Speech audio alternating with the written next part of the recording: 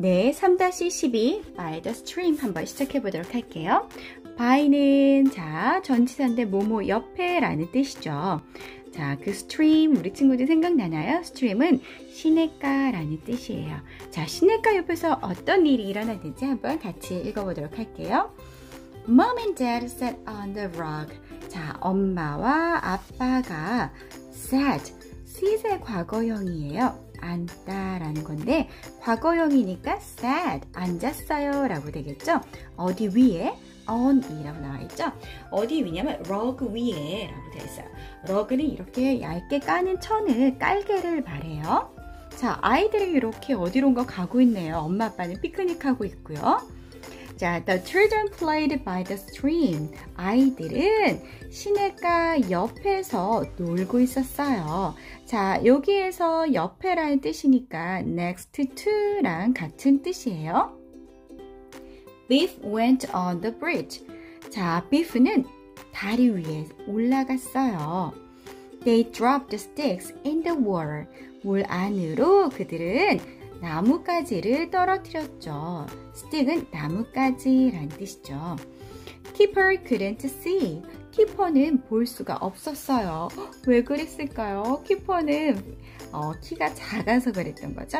couldn't는 can't not, cannot 이제 줄임말이 어, 줄임말이고 또 과거형이에요. Keeper climbed up. 자, 이번에는 키퍼가 올라갔어요. 어머, 그러는 순간 손에서 테디베어를 놓친 것 같네요. He dropped Teddy in the water. 그가 테디베어를 물속에다 떨어뜨려 버렸어요. Get Teddy, said Keeper. 테디 좀 잡아주세요. 라고 키퍼가 말했죠. Biff couldn't get Teddy. 비프가 테디를 잡을 수가 없었어요. Get Teddy, said Keeper. 키퍼, 그러니까 또 한 번 얘기했죠. 테디 좀 잡아주세요. Mom couldn't get Teddy.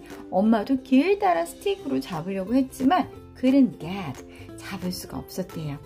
I want Teddy, said Keeper. 음, 난 테디를 갖고 싶어. 테디를 원해. 뭐 이렇게 얘기했죠. 그러자 이제 아빠가 나섰어요. Dad couldn't get Teddy. 아빠가 테디를 잡을 수가 없었대요. Dad fell in. 자, 아빠가 빠져버리는, 떨어져 버리는데 in이니까 어디 안으로 떨어진 것 같죠? 자, fall의 과거형 fell이 나왔어요. 넘어지다 혹은 떨어지다 라는 뜻이죠. 어디로 떨어졌는지 한번 볼게요. splash! 첨버덩 소리 나는 거 보니까 물속인 것 같죠? I am a frogman, said Dad. 나는 프로그맨이야, 개구리맨이야 라고 음, 아빠가 말했어요. 하지만 테디를 잡아서 테디도 또 Kipper도 기뻐하는 걸로 끝났네요.